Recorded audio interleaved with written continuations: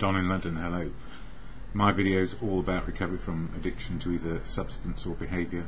My addictive substance, alcohol, my behaviour equally addictive around people, places and things. So these days, sober one day at a time. And that's what seems to work. Live in the day, live in the moment, find my spiritual connection to living in the, in the moment of now. Spiritual life is real life. Everything is spiritual.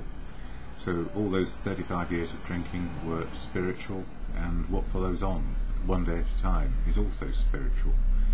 I suppose really the question is for anyone, what quality of spiritual do we enjoy best? And only a person can make up their own mind what is best for them. So I share about what helped me into recovery and to be sober one day at a time with the help and aid of fellowship. That fellowship is AA. And today, I just want to read from this book, 12 Steps and 12 Traditions, which is the backbone, I guess, of much of what the fellowship is about. 12 steps so we can live well, open, honest, and willing. And the 12 traditions in fellowship, unity, service, and recovery. Sounds like the dog downstairs is not having a good time. So what is AA? I just share the preamble, which is on this little card, which explains to anyone what the fellowship is there to do, to include people around being sober one day at a time, and living a spiritual life, knowing what our feelings are, and not drinking. So, what is AA? Alcoholics Anonymous is a fellowship of men and women who share their experience, strength and hope with each other, that they may solve their common problem and help others to recover from alcoholism. The only requirement for membership is a desire to stop drinking. There are no dues or fees for AA membership. We are self-supporting through our own contributions.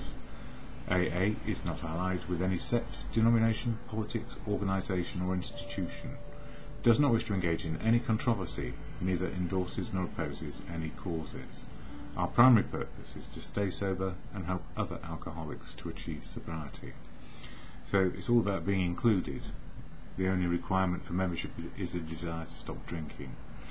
And what you make of your life with the help of fellowship and the 12 steps and the 12 traditions and the big book of AA and how you come to live life is as it works for you as an individual because we are all unique and authentic on our life path as we are. So we try not to tell each other what to do. But there are some principles involved, and the principles in the 12 steps and 12 tradi traditions help us to find a sober life. And uh, June, for me, is all about step 6. So I share the step and also a commentary about how it works for me. And step 6, it says here, we were ready or rather were entirely ready to have God remove all these defects of character. So what are defects and what are assets or what are our liabilities and what are our assets? It probably boils down to the, in the biblical sense, the seven deadly, seven deadly sins, and also the seven virtues, the opposite. And if you look on the internet, you'll find many version and here's just a version which I picked up quite quickly. Right, so pride is excessive belief in one's own abilities that interferes with the individual's recognition of the grace of God. It has been called the sin from which all others arise. Pride is also known as vanity. So pride is the first deadly sin, or defect. Envy is the desire for others, traits, status, abilities, or situation. Gluttony, the third one, is an inordinate desire to consume more than one than more than that which one requires. Lust is an inordinate craving for the pleasures of the body. Anger is manifested in the individual who spurns love and opts instead for fury.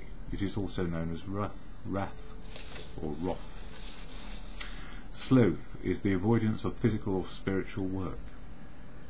And the opposite, if you like, the seven contrary virtues, humility, kindness, abstinence, chastity, patience, liberality, diligence. And the contrary virtues were derived from the battle for uh, the the poem, an epic poem written by Prudentius, circa 410 AD, an epic poem written. Practicing these virtues is alleged to protect one against temptation toward the seven deadly sins, humility against pride, kindness against envy, abstinence against gluttony, chastity against lust, patience against anger, liberality against greed, and diligence against sloth. So, very black and white. You're either one or the other. But in real life, what are we? We're all of those things at different times in our lives. And although the seven deadly sins and the seven virtues may sound quite old fashioned, we all have some sort of traits around those issues. And the 12 steps of the fellowship try to address this in, in the way I understand it, in step 6 and step 7. So step 6 is all about my defects of character, and step 7 is all about my shortcomings. So my defects of character are the sins, and my shortcomings are not enough of the virtues, short on virtue. But in there somewhere is modern life, and life as it is today, and the changing values of society. But around that is a personal code. So these 12 steps, principles, these 12 steps are about developing our own personal code of living. And how we do that is entirely up to us. No one's going to stop us doing it another way. And if they were trying to stop us, our sins or deadly sins of pride would get in the way. We get stubborn and defiant often, or I did. So, step six in the fellowship program reads as this, with a bit of commentary from me. And don't forget, this is just a personal understanding. It's your understanding in the end which counts. And where do you get your personal understanding? From life. And also listening to the many voices in society, and probably in the fellowship of AA, if you stick around long enough.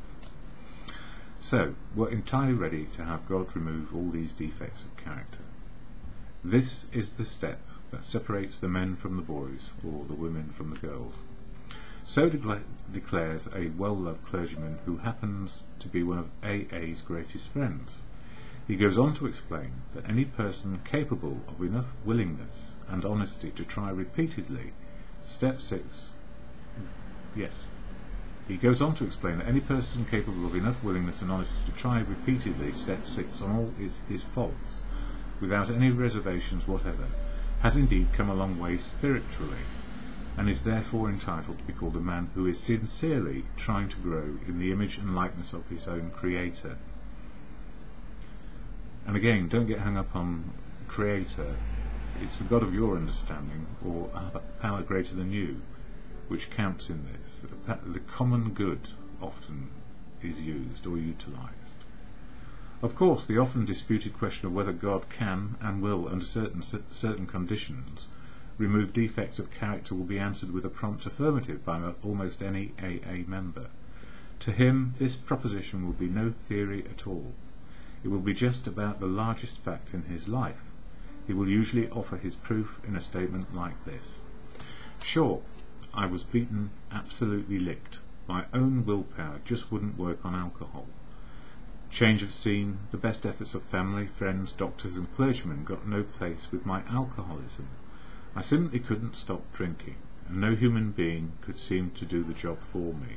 But when I became willing to clean house, that's step four, and then asked a, a higher power, God as I understand him, to give me release, my obsessions to drink vanished. He was lifted right out of me. Well, it didn't quite work that way because I was a stubborn son of a gun and I thought I knew better for a long time. But when I got to fellowship, I found there were a lot of people who had given up on pride and said self-will will run riot and willpower will fail. And it was right. So I listened to the many voices. if God works through people, the wisdom came quick and easy for me. So I stuck around for quite a while, shivering with with fear, another one of my defects, until I could keep on listening to what was working for other people, and then I started to learn. In AA meetings all over the world, statements just like this are heard daily. It is plain for everybody to see that each sober AA member has been granted a release from this very obstinate and potentially fatal obsession. So in a very complete and literal way, all AAs have become entirely ready to have God remove the mania for alcohol from their lives, and God has proceeded to do exactly that. And I would add to that, as long as I keep on asking for help on a daily basis, and listening and learning from others how to live life beyond beyond just stopping drinking, then my defects of character seem to diminish. Personality traits don't go away completely, they just don't. But if we ask on a daily basis, at least we have a, a good chance that we will operate more to our virtues than our defects. When men and women pour so much alcohol into themselves that they destroy their lives, they commit a most unnatural act. Defying their instinctive desire for self-preservation, they seem bent upon self-destruction. They work against their, their own deepest instinct. As they are humbled by the terrific beating administered by alcohol, the grace of God can enter them and expel their obsession. And uh, I guess the grace of God for me is keeping on learning, and as it says, humility kindness, abstinence, chastity, patience, liber liberality and diligence. So working on sober rather than working on the next drink. Here, their powerful instinct to live can cooperate fully with their Creator's desires to give them new life, for nature and God alike abhor suicide. But most of our other difficulties don't fall under such a category at all.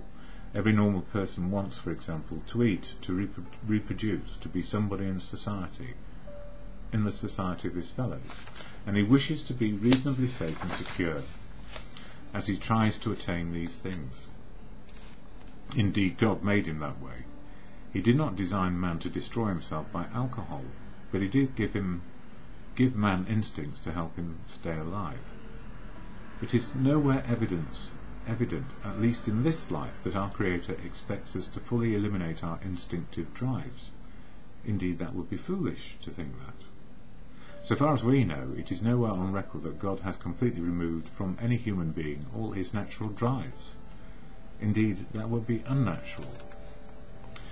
Since most of us are born with an abundance of natural desires, it isn't strange that we often let these far exceed their intended purpose. And that's to do with our thinking, and and our vices, I guess. When they drive us blindly, or we wilfully demand that they supply us with more satisfactions or pleasures than are possible or due to us, that is the point at which we depart from the degree of perfection that God wishes for us here on earth, or as nature intended. That is the measure of our character defects, or if you wish, our sins. If we ask, God will certainly forgive all our derelictions, but in no case does he render us as white as snow and keep us that way without our co cooperation. That is something we are supposed to be willing to work towards ourselves. He asks only that we try as best we know how to make progress in the building of character. So indeed it is about building of character, and if we think about our youth, where all our instincts and drives and desires were out of control, as we came into adulthood, and then we found that we had to live in a society where we had to live to the norms, and of course drink is not one of them, to excess and then addiction. But of course every other behaviour can be an addiction too, as many have found.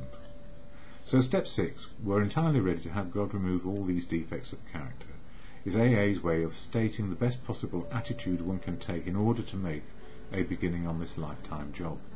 In other words, to find balance in our natural drives and living so that we can be included in society.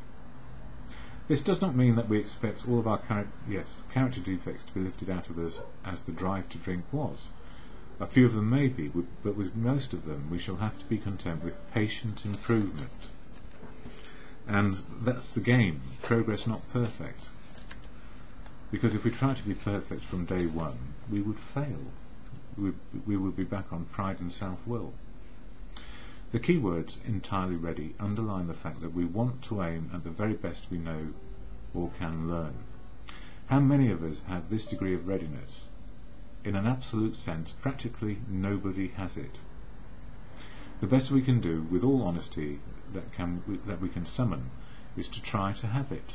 Even then, the best of us will discover to our dismay that there is always a sticking point, a point at which we say, no, I can't give this up yet.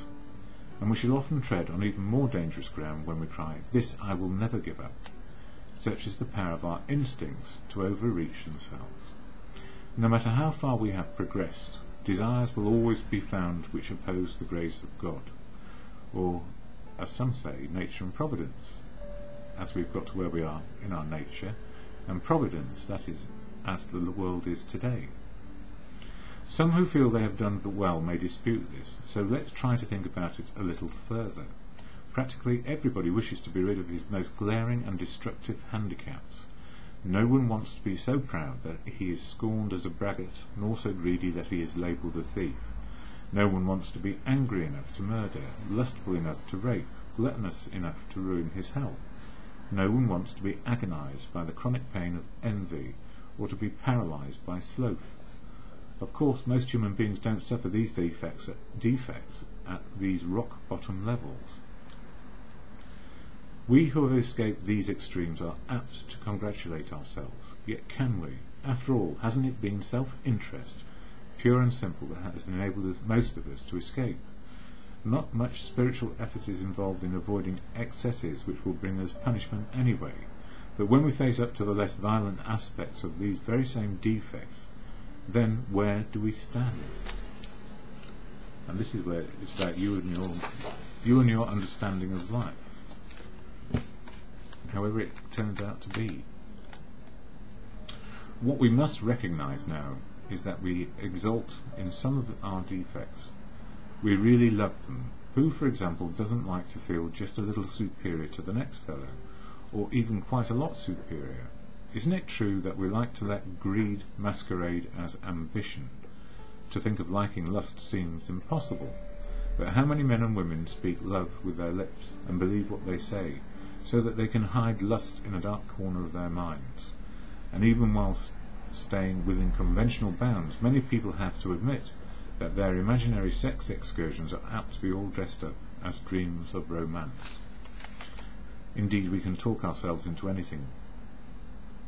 I know this. I've done it. Self-righteous anger also can be very enjoyable. In a perverse way, we can actually take satisfaction from the fact that many people annoy us for it brings a comfortable feeling of superiority. Gossip barbed with our anger, and I'm right, I'm smiling there, because it's very easy to become self-righteous in recovery. I mean, the simple answer is, the more self-righteous we are, the more we are dogmatic, the more we are stubborn and defiant about something we believe there is one path, and it happens to be mine. And what I've learned in recovery, my path if I stick with it defiantly and stubbornly, I'll start to stumble and fall down pretty darn quickly because I need the input and in inclusion of everyone in my life. Gossip barbed with our anger, a polite form of murder by character assassination, has its satisfactions for us too. Here we are not trying to help those we criticise, we are trying to proclaim our own righteousness. And uh, I know this from things which have happened today. Self-righteousness doesn't do me or anybody else any good. But if you point it out to another person that they're being self-righteous, am I not also being self-righteous? Because I'm developing the argument. So sometimes uh, in the fellowship we say desist of pen and tongue because there is nothing to add and nothing to be gained by it. Even though we like to do it, and to an extent I can do it too, even now and then I think to myself, I must laugh at myself and stop it, because I don't know what is right for you. And if I don't know what's right for you, how do I know what's right for me? Which is why I always say I need to keep on learning. When gluttony is less than ruinous, we have a milder word for that too. We call it taking our comfort. We live in a world riddled with envy, to a greater or lesser degree. Everybody is infected with it. From this defect we must surely get a warped yet definite satisfaction. Else, why would we consume such great amounts of time wishing for what we have not, rather than working for it, or angrily looking for attributes we shall never have, instead of adjusting to the fact and accepting it? And how often we work hard with no better motive than to be secure and slothful later on. Only we call it only we call that retiring. Consider too our talent for procrastination, which is really sloth in five syllables. Nearly anyone can make a good list of, the, of such defects as these, and few of us would, be ser would seriously think of giving them up, at least until they cause us excessive misery. And without a doubt, if we go hell for leather in one direction, thinking we're right, and we wonder why nobody's following us, we do get somewhat alienated and, and messed up. But if we don't stop giving up those ideas that we're always right, or that my way or the highway is the right way, then we are alone again and isolated. And we may not drink, but we're certainly not as sober as we could be. Some people, of course, may conclude that they are indeed ready to have all such defects taken from them, but even these people, if they construct a list of still milder defects, will be obliged to admit that they prefer to hang on to some of them. Therefore it seems plain that few of us can quickly or easily become ready to aim at spiritual and moral perfection. We want to settle for only as much perfection as it will as will get us by in life, according of course to our various and sundry ideas of what will get us by. So the difference between the boys and the men is the difference between striving for a self-determined objective and for the per perfect objective which is God, of God. Yeah. So we progress and are not perfect. We realize some of our potential, but our defects of character will get in the way if they remain out of balance and we hang on to them. Many, many will ask at once ask, how can we accept the entire implication of step 6? Why? That is perfection. This sounds like a hard question, but practically speaking it isn't. Only step 1, where we made the 100% admission, we were powerless over alcohol, can be practiced with absolute perfection. The remaining 11 steps state perfect ideals, so perfect ideals. So strict adherence to the steps is about perfect ideals. But, you know, strict adherence on a daily basis, life is happening around us and we're going to be pushed and pulled in all sorts of ways. So defects as well as virtues will be around. There are goals towards which we look and the measuring sticks by which we estimate our progress. Seen in this light, step 6 is still difficult but not at all impossible. The only urgent thing is that we make a beginning and keep trying. And that's it. We make a beginning and keep trying. So contingent on the day we ask for help and refocus ourselves around the virtues humility, kindness, abstinence, chastity, patience, liberality and diligence we are on a better wicket, if you like, if you're a cricketer. If we would gain any real advantage in the use of this step on problems other than alcohol, we shall need to make a brand new venture into open-mindedness. We shall need to raise our eyes towards perfection and be ready to walk in that direction. It will seldom matter how haltingly we walk. The only question will be, are we ready? So, contingent on the day we ask, are we ready to let go righteousness and every other excessive excessive outlook or personality trait? Are we ready? And the only answer is yes, really.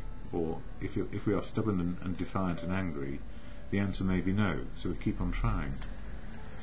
Looking again at those defects we are still unwilling to give up, we ought to erase the hard and fast lines that we have drawn.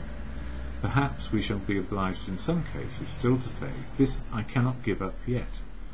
But we should not say to ourselves that I will never give up. Let's dispose of what happen, appears to be a hazardous open end we have left. it is suggested that we ought to become entirely willing to aim towards perfection. We know that some delay, however, might be pardoned. That word in the mind of a rationalizing alcoholic could, could certainly be given a long-term meaning. He could say, how very easy, sure, I'll head towards perfection, but I'm certainly not going to hurry. Maybe I can postpone dealing with some of my problems indefinitely. Of course, this won't do. Such a bluffing of oneself will have to go the way of many another pleasant rationalization. At the very least, we shall have to come to grips with some of our worst character defects and take action towards their removal as quickly as possible. Or complete understanding that defects of character can come up in any moment of the day if we are provoked, or we provoke others. The moment we say no never, our minds close against the grace of God or common sense. After all, what else would God's word be beyond common sense and wisdom for the common man? We're not talking rocket science here, we're talking common sense. Delay is dangerous, and rebellion may be fatal. This is the exact point at which we abandon limited objective and move towards God's will for us, as nature intended, nature and providence. All these wonderful words and I like because you know, spiritual is now. Spiritual is in the moment. It's not tomorrow and it's not yesterday. Although every experience we've had brings us to this spiritual moment of now. And either we accept life on life's terms, acceptance is the key always, or we get into trouble again. And it's being defiant or angry against our situation often, that life isn't giving us what we think we deserve. So just a reminder, the contrary virtues were derived as follows. Yeah. Humility against pride, kindness against envy, abstinence against gluttony, chastity against lust, patience against anger, liberality against greed, and diligence against sloth. And step six, the seven deadly sins or removal of them, is subject to asking on a daily basis, how am I going to live today? How do I want to behave? How do I want to be open, honest and willing to change my attitude and behaviour to fit my circumstances? And do my feelings fit my life right now? If we've been good in our step four, life story, and expressed it and shared it with another human being and to our Creator as we choose, then step six defects fall out of that life story quite easily and also our shortcomings, the virtues, which is all about step seven. I don't know that we can take six and seven in isolation. I can have a step six day full of defects of character if I'm stubborn and defiant and go back to my old behaviour.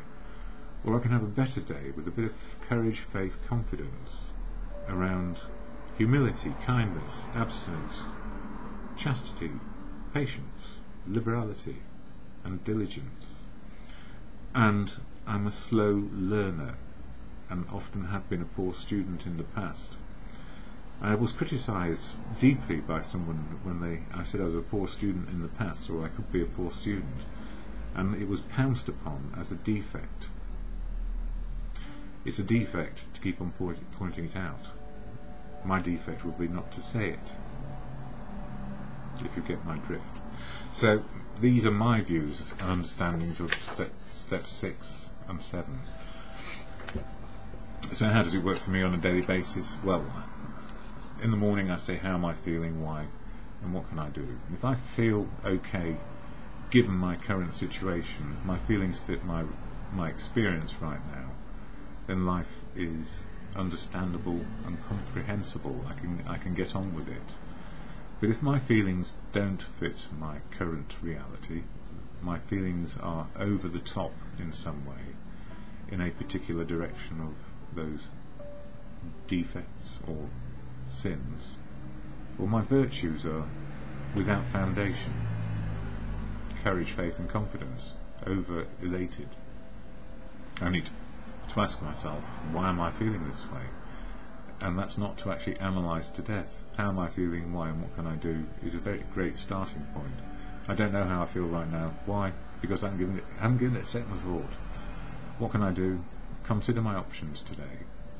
or if I wake up angry, fearful, resentful, or just feeling like I can't cope or I don't know what to do, then I need a bit more courage, faith, and confidence.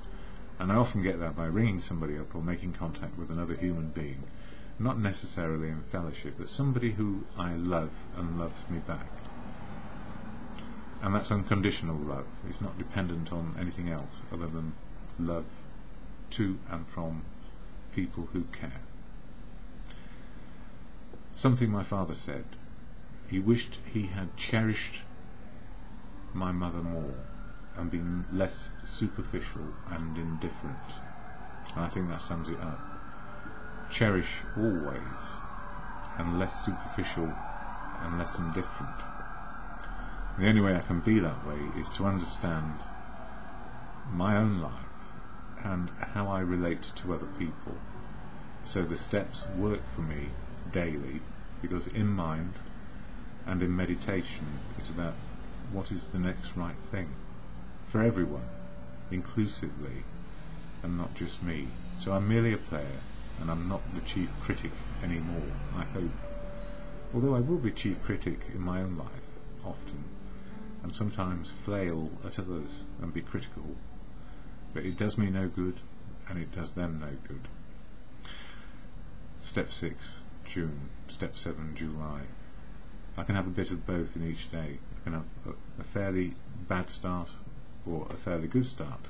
Enough courage, faith and confidence to keep on going, or I could have fear, brave facing and ego in my heart. It's as life is. And it's often better if I talk to another human being or get to a fellowship meeting where I can see what is working for others so I can join in and be a part of again. Freedom to choose life, life on life's terms, always a unique and authentic path for each person, and in fellowship with one similarity, a desire to be sober today. The Serenity Prayer is where I finish all my videos, hopefully, to do with recovery, without the screeching of the police cars going past on gracious me a typical London night where I live. Anyway serenity prayer. Yes I even sleep through all of that during the night often and then get told about it by my neighbours so to God or in good conscience the serenity prayer is as follows God grant me the serenity to accept the things I cannot change courage to change the things I can and the wisdom to know the difference for me is just for today.